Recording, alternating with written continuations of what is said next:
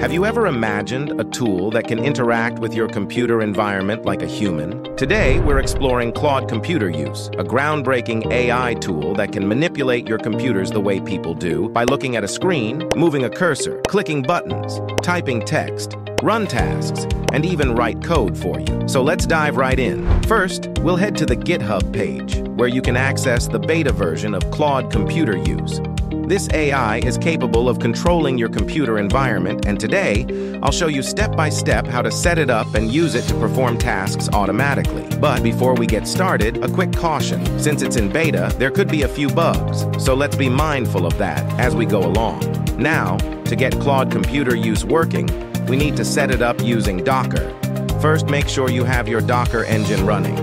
If it's your first time, Docker will automatically download and set up the required container images on your local system. Don't worry, this part is pretty straightforward.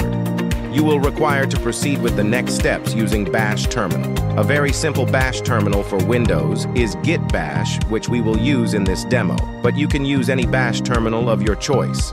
We begin by fetching our Claude API key and setting it as an environment variable.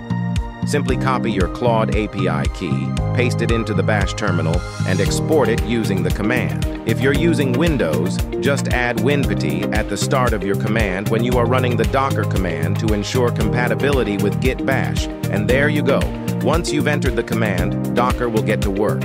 When the setup is complete, you'll see the message Claude Computer Use is ready in your terminal. Now that the setup is done, let's open the demo interface navigate to https colon slash slash localhost colon 8080 slash on your browser, and you'll see a simple Streamlit application where you can communicate directly with the AI. Here's where it gets interesting. You can ask Claude to perform tasks like opening programs, searching online, or even writing code. Let's start by asking it to find the latest video on YouTube from AI Demos. Watch how Claude takes over. It opens Firefox, searches YouTube, and in a few seconds, there you go. It found our latest video, ChatGPT Canvas, NotebookLM, and Movie Jam. But that's not all it can do. In the next part, we'll challenge Claude with some more complex tasks, like writing and running code. Now, let's take it a step further. I've asked Claude to write a Python script for simple addition.